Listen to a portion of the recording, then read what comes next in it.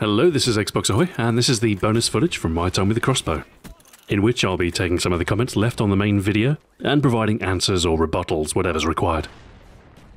Now, the prevailing theme this week was largely centered around the final kill cam which I featured, as literally hundreds of people took the opportunity to take a tired meme and further beat it into the ground. As Play with Niz says, oh god, the final kill just had to be an arrow to the knee, didn't it? But that's enough Skyrim for now. Hopefully someone left a real question for me to answer. Uh, Sao Paulo or Bust asks, Hey Stuart, parabolic flight trajectories remind me. Have you ever played Tribes Ascend? I did try the beta. Um, I played a little bit, maybe an hour or so, just mucking around with the mechanics. But I haven't played it seriously. I, I can't ski for the life of me. I would give it a fair shake now that um, it is actually released, but I have a whole pile of games to play and scant time to enjoy them, so learning a new multiplayer game isn't high on my priorities. Okay, Skullkiller456 asks, Stuart, what was your most challenging Black Ops review to make when it came to getting the clips for the weapon review? Uh, generally speaking, it's the single shot weapons that um, are generally the hardest to get clips for. The sniper rifles probably have the lowest yield in that they aren't particularly suited to an aggressive playstyle. So the, the, the, sort of the fast-paced clips that I'm looking for are, are generally a bit rarer. Special weapons tend to be quite difficult as well. The crossbow's okay. I didn't have too bad of a time with it. But the ballistic knife, I guess, was probably on the, the harder scale of things. Pretty much anything else is is pretty easy. If it, if it if it's automatic, or even if it's a burst fire weapon, you can normally just spray and get a few kills and call it a clip. Ugh, talking about that kill cam again with Master of the X 2029. Question: Did you intend that arrow to the knee final kill cam? Well, I, I take what I can get, really, with uh, as far as the kill cams are concerned. In Team Deathmatch, you've got what, a 1 in 12 chance of getting a kill cam, assuming that everybody has the same number of kills, which obviously isn't always the case. I, I do, you know, normally get a decent share of kills, but with the crossbow, my uh, my performance is a little muted. I can't exactly go on massive tears with it. I think I got two kill cams. I recorded about, I want to say between 15 and 20 games, and I got two kill cams. So that's about what you'd expect, typical yield-wise. But unfortunately, one of the kill cams was, I believe it was a grenade kill. You might say, maybe there was a couple of kill cams uh, that I didn't use. But I only got the one stick kill, which is uh, the one where I stick the guy in the knee. I mean, of course, I'm grateful for it. It's it's always nice to get a, a nice clear kill cam with a weapon. But no, I didn't set it up or didn't plan to hit him in the knee or anything like that. I just take what I can get, really. Annihilator Xbox asks, Stuart, have you ever thought of hiring anybody for help? E.g., one person gets the clips and you can do the editing. By doing this, you can save time and more videos can be produced. I suppose um, if we're talking about upscaling production, then uh, ultimately you are going to have to get you know, more manpower. There's only so much that I can do on my own. So, uh, yeah, I've considered it, but it's a question of, you know, how do you do it when you're talking about staff?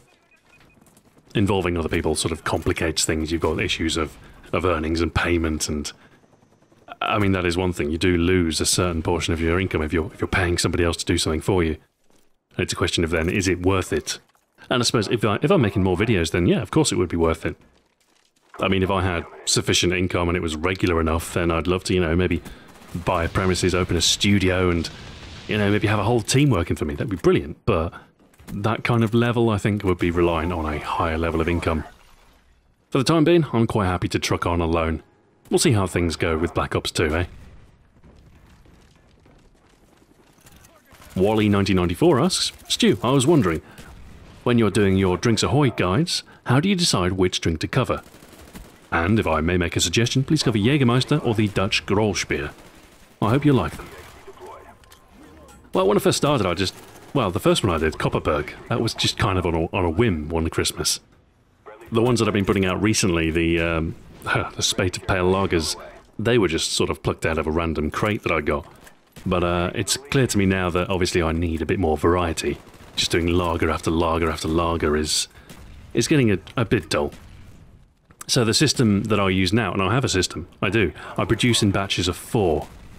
And uh, to get as much variety as possible, I I basically have, in each of the four slots, I'll choose one type of beverage. So going forward, one of the four is going to be a pale beer, either a lager or a, a Weiss beer or something along those lines. The second slot is going to be something darker, a dark beer, because I've got a lot of beers. Beers are going to be, you know, they're going to be the mainstay. But the second slot is a dark beer, so a porter, a stout, or some other sort of a interesting ale. Just to sort of mix it up again, so it's not all sort of pale stuff. We've got something with a bit of colour in there. Third slot is going to be something strong, which is going to be either a hard liquor, like a vodka or a whiskey or a gin, or a liqueur. I've done Midori already, but there's going to be more stuff like Midori. I've got a, I think I've got a couple of bottles of liqueur floating around.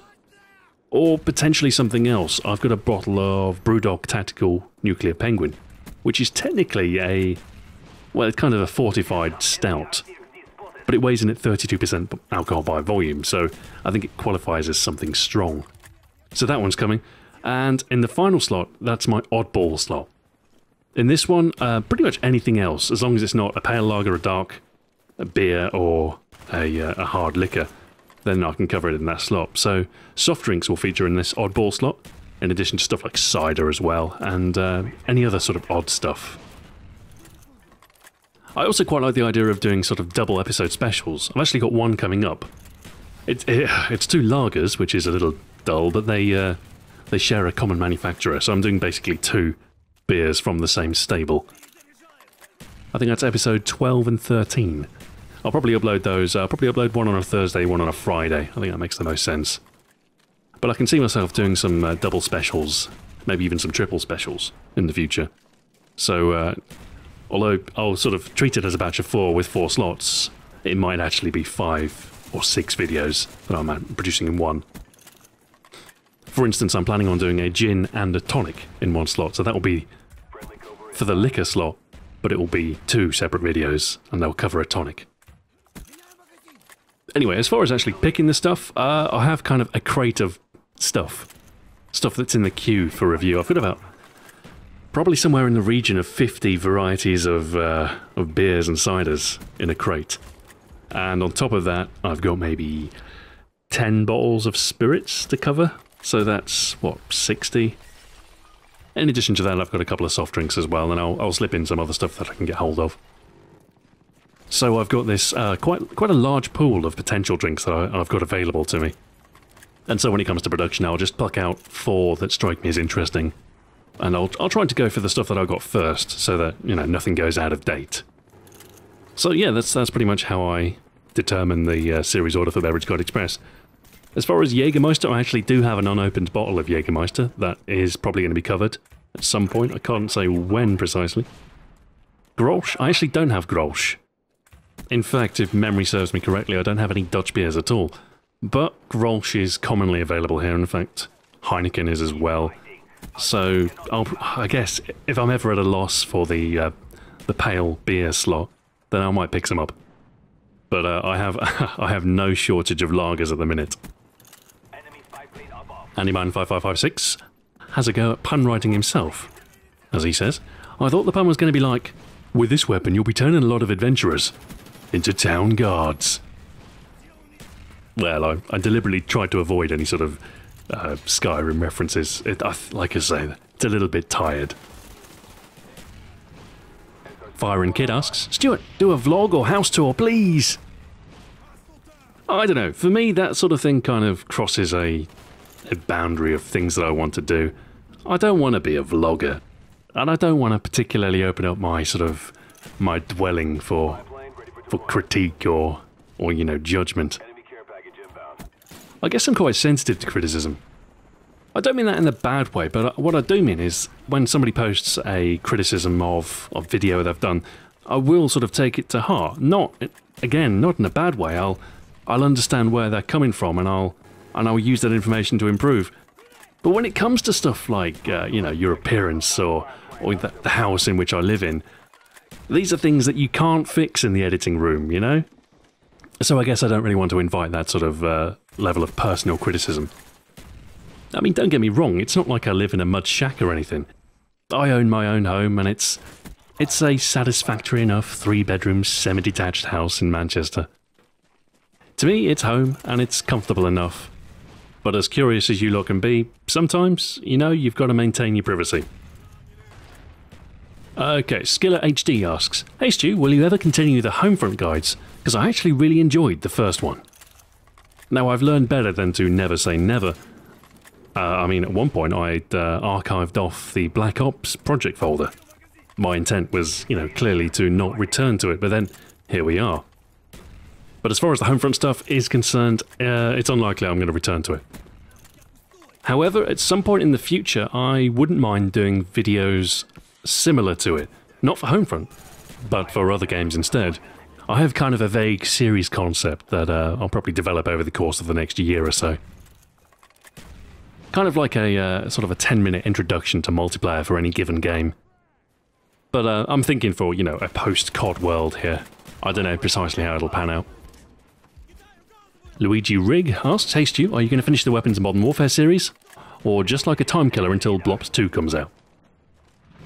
Well, I suppose to satisfactorily finish the Weapons of Modern Warfare series, I'd have to do what? I think what, there's 50 weapons in total?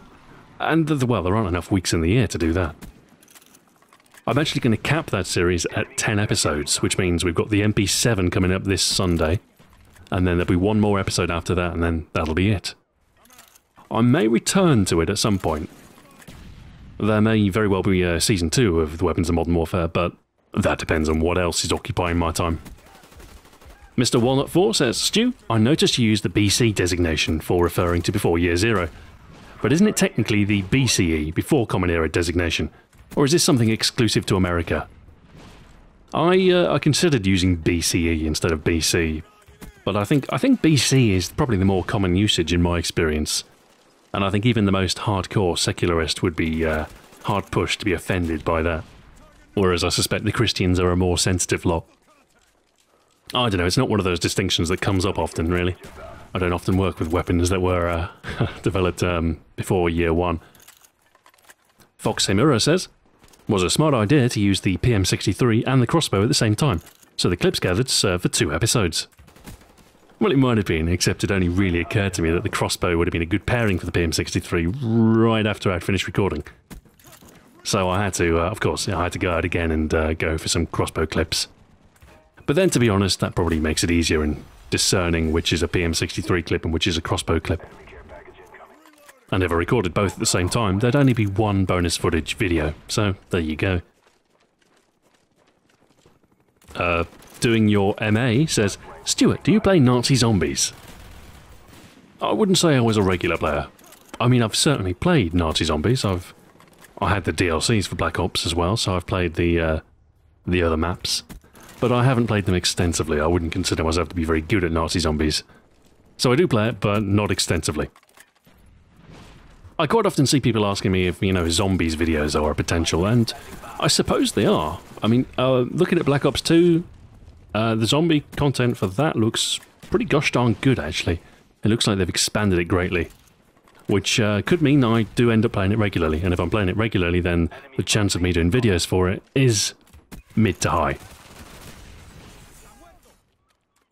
Insane Roacher says, You are close to the 100th video. Are you going to do anything special?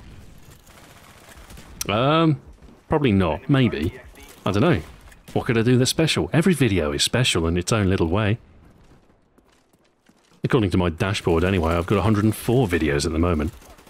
And even if you um, exclude the ones at the start of my channel's lifespan, which are now private, if you include Weapon Guide Express, I would have hit 100 videos with the MP7 coming this weekend. But anyway, it's a fairly meaningless number. It'd be nice, I suppose, if I could do Behind the Lines episode 2, but I'm not sure if that'll be ready for then. Reaper2298 says, Stuart, Simpsons or Futurama? Has to be Futurama, I suppose. I'm still watching The Simpsons, I still tune in even for the new episodes. And I enjoy them, you know, they're still they're still pretty good. Of course, they're not quite up to the standards of yore. I suppose with, what is it now, 500, 600 episodes, things start to get a little bit threadbare. Uh, no, Futurama is definitely, uh, at least as far as new episodes are concerned, the better source of entertainment. Mr. Table Turns asks, Xbox Ahoy, USA versus Russia. Who would win? Well, probably the cockroaches. I mean, assuming we're talking all out nuclear war here. If we're talking something like football, then, oh, I don't know. Anyway, that was the uh, the last question I picked out. Unusually, I, I normally run out of footage before I run out of questions. But never mind, I've got maybe, what, 30 seconds left? Uh, something like that, yeah. That's just enough time to do an outro and, uh, and talk about what's coming next. I'm actually recording this on Friday morning, but I probably won't upload it until Saturday, as I've got Beverage Guide Express to go out today. So I hope you enjoyed Beverage Guide Express yesterday, on Friday. I know, yes, it's another pale lager, but I am not deaf to your criticism. I have mixed it up. Coming up next is a wit beer, then uh, you've got a double lager special, then you've got a vodka, then you've got a cider, then you've got a bitter. And going forward, I'll try and keep things as, as diverse as possible. So that's Beverage Guide Express. Coming up next on Xbox Ahoy is the MP7 Weapons of Modern Warfare, the penultimate episode. And the week after that will be the FNFAL for Black Ops. So, I hope to see you then. And until next time, farewell.